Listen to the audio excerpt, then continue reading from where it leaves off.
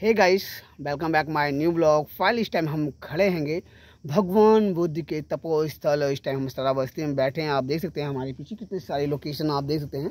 और हमारे साथ हैं शिवाजी, जो कि मेरे भाई हैं। और हम दोनों भाई यहाँ पे आए हैं घूमने। और बात की समय की तो लगभग बज रहे हैं पाँच पचपन। और पाँच मिनट बाद ये पूरा ग्राउंड बंद कर दिया जाएगा। लेकिन हमने सोचा, क्यों ना हम आपसे पाँच मिनट, जो समय तय है, वो आप लोग अपने सब्सक्राइबर अपने यूट्यूब और फैमिली से बात की जाए।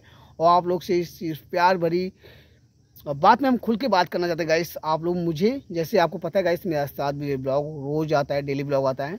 हो सकता है कभी कभार मिस हो जाए क्योंकि गाँव में रहते हैं लाइट कभी कभार नहीं आती है।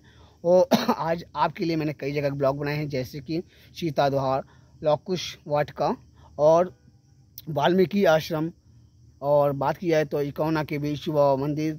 हमने आज लक्ष्मण सरोवर। लक्ष्मण सरोवर और यहाँ के शहट महट और उंगली मार डाकू के ब्लॉग और यहाँ के भगवान बुद्ध की उस आश्रम, जो उस पीपल के नीचे जहाँ पे बारह खंभे स्तंभ लगे हुए हैं, उस जगह की हमने ब्लॉग बनाई गई आपको धीरे धीरे दो चार दिन में सारे ब्लॉग मिल जाएँगे और आप लोग प्लीज़ हमें सपोर्ट कीजिए क्योंकि आपका भाई आपके लिए कितनी दूर दूर तो जाता है। देखिए, आज मैं अपने घर से लगभग 80 किलोमीटर दूर हूँ और वैसे ही मैं आपके लिए उत्तराखंड गया, अन्य जगह पर जाता हूँ। क्यों? कि आप मुझे प्यार कीजिए सपोर्ट कीजिए हमारी वीडियो को लाइक कीजिए। आपके एक लाइक से हमारा यार हौसला बढ़ता है।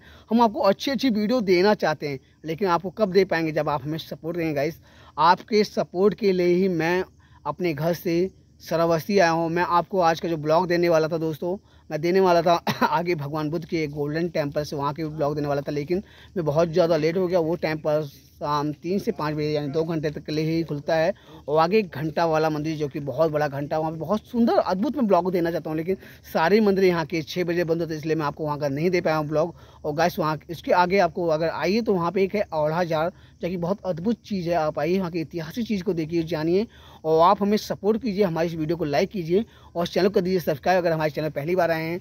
और सपोर्ट कीजिए गाइस, हम आपको प्यार और सपोर्ट के लिए तो यार हम इतनी दूर दूर तक आते हैं और शाम को सात बजे रोज़ हम वीडियो डालने की कोशिश करते हैं। कभी कभार तो मिस हो जाता है क्योंकि हमारे यहाँ पे लाइट गाँव में जब बारिश होती है लाइट वाइट नहीं रहती, इसलिए थोड़ा मिस हो जाता है गाइस।